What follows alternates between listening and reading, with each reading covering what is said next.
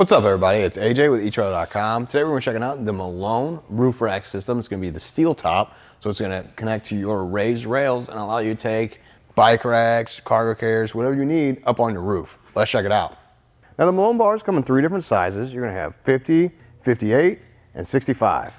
The steel top roof bars in combination with the feet is gonna be an easy system to throw up on your roof. Maybe if you only use it once or twice a year, you go on vacation, you wanna put a cargo carrier up here or a box. That way you can take more of your stuff with your vehicle since you can only have so much space inside. It'd be nice to be able to take that out of there, put it up on top of the roof so you have more space for even more things or just more leg room.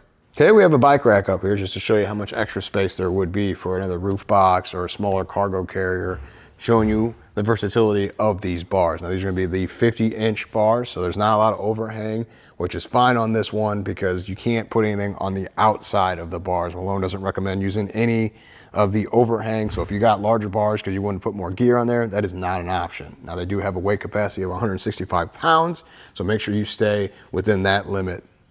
Looking at the end cap, each one has a lock core in there so you can lock it up so that no one can get in there and mess with the bolt to loosen the clamp. So I'm gonna remove it to show you this bolt here. If you tighten it, it's gonna tighten the clamp to the side rails. And if you loosen it, that's how you're gonna take the roof rack system off of your roof. How you're gonna attach accessories to the square bars is gonna, most of them are gonna have a clamp-like system.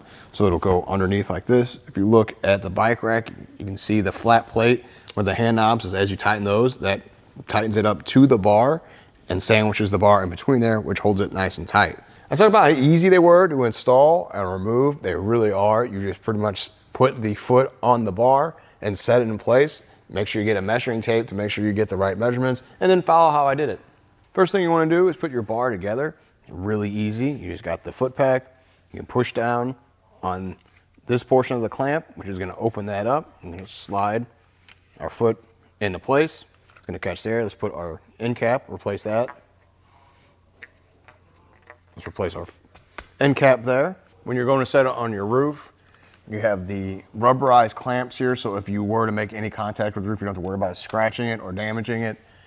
We're gonna aim for the bars on both sides because these are thicker raised rails. You might have to even push down just a little bit to get it to go into place because you don't want this bolt to completely come out. So I'll tighten it back up by hand just a little bit. That way we can still slide the bar back and forth. I'm gonna get the other one in place on the other side. There we go. So we're gonna leave this loose so we can adjust the bar from side to side. We'll get our tape measure out.